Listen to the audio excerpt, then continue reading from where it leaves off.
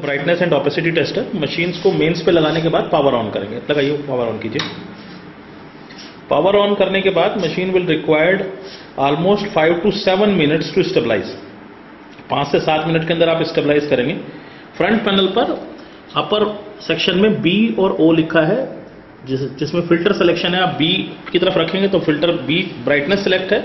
अगर उसी को आप ओपेसिटी पे ले जाएँगे तो वो ओपेसिटी सिलेक्ट हो जाएगा। सतपाल जी बार करके दिखाइए। ये ओपेसिटी पे ले गए तो ओपेसिटी का फ़िल्टर सेलेक्ट है, वापस ले आएँगे तो दिस इज़ ब्राइटनेस सबसे पहले आप मशीन को टाइल की मदद से कैलिब्रेट करेंगे. सबसे आप ब्लैक कैविटी से ज़ीरो कर लिया आपने. मशीन ज़ीरो की and then you keep the tile the tile value is 80.5 80.5 आपने सेट कर ली with the help of front pot जिसमें फाइन का पोर्ट है. उसके बाद आपने एक नॉन वैल्यू हाँ 80.5 सेट कर लीजिए। उसके बाद आपने वाइट पेपर लिया। वाइट पेपर लेने के बाद उस पेपर के आपने मल्टी फोल्ड किए और उसको आपने मशीन में लगा दिया।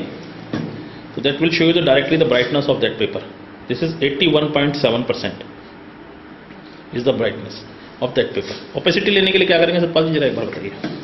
ओपेसिटी के लिए फिर आप ओपेसिटी वाले फ़िल्टर पे ले जाएँगे सबसे पहले इनिशियली मशीन को ज़ीरो करके। ओपेसिटी का फ़िल्टर सेलेक्ट किया आपने।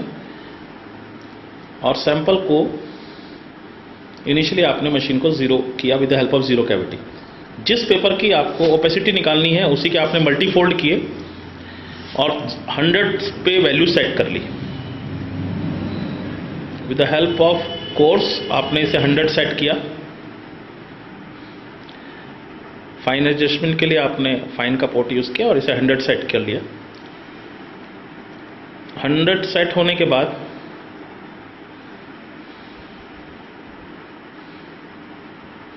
आपने सिंगल पेपर को निकालना है और उसकी ऑपेसिटी आपने देखनी है।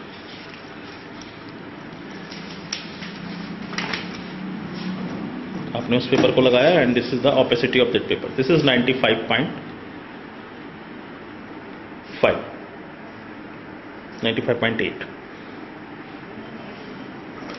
95.5 से लेके 8 के बीच में है अलग अलग ठीक है थैंक यू